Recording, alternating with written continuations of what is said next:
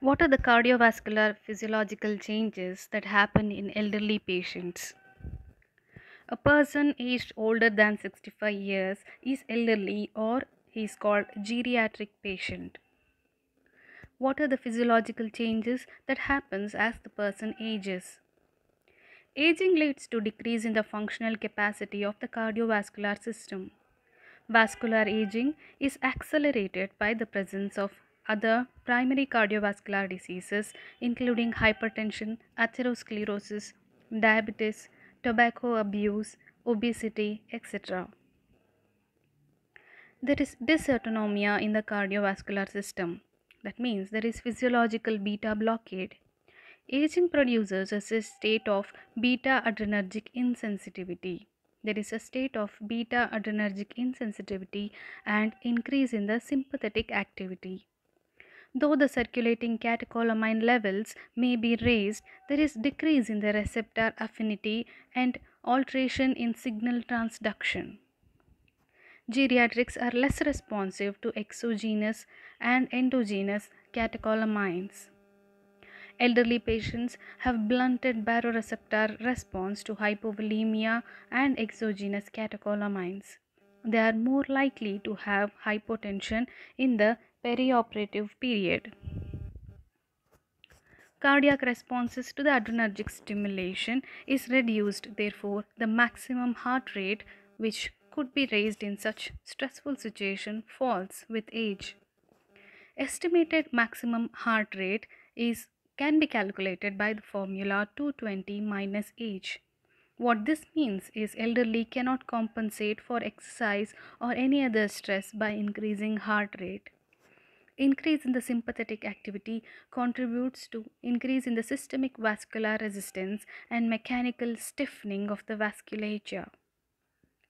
Decreased arterial elasticity due to atherosclerosis leads to decreased arterial compliance, further leading to elevated afterload, that is, systemic vascular resistance.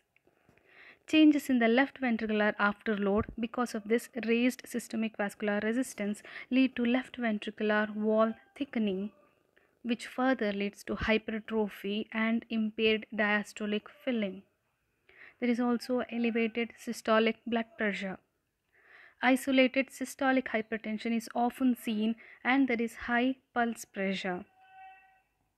Conduction pathways get infiltrated with fibrous and fatty tissues leading to loss of pacemaker cells in the sinoatrial node which makes the geriatric patients vulnerable for arrhythmias. Sick sinus syndrome may ensue. Atrial fibrillation may occur secondary to left atrial enlargement.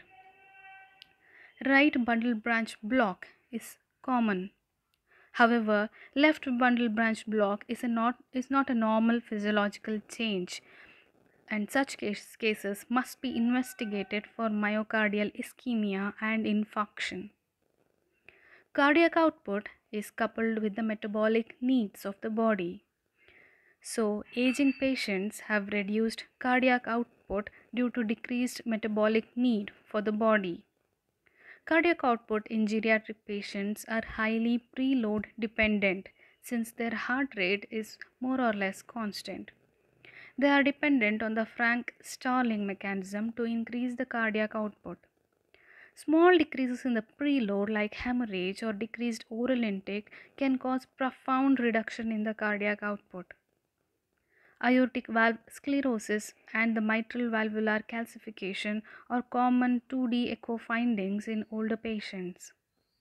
Aortic valvular sclerosis is associated with the increased risk for adverse cardiovascular events in the perioperative period. Interstitial fibrosis of the myocardium leads to diastolic dysfunction. In severe form, the diastolic dysfunction manifests as diastolic failure, which is referred to as heart failure with preserved ejection fraction there is greater dependence on the left atrial contraction for the left ventricular filling. There is higher left ventricular end diastolic pressure which is higher for the same left ventricular end diastolic volume. Higher left atrial pressure causes pulmonary congestion. Diastolic dysfunction increases the risk of pulmonary edema during fluid administration. For the same reason, fluid administration should be judicious. There is dependence on the sinus rhythm. Atrial fibrillation is detrimental as there is no atrial kick in cases of atrial fibrillation where the atria is fibrillating. Tachycardia is poorly tolerated because of the reduced diastolic filling time. Systolic function is however preserved. Stiff venous system leads to postural hypotension. There is reduction in the cardiac reserve. Circulation time is longer. So there is longer onset of time of induction of anesthesia. Titration of the induction agents are therefore required. There is rapid uptake of inhalational anesthetic because the decreased cardiac output. So they are very sensitive to the vasodilatory properties of inhalational agents.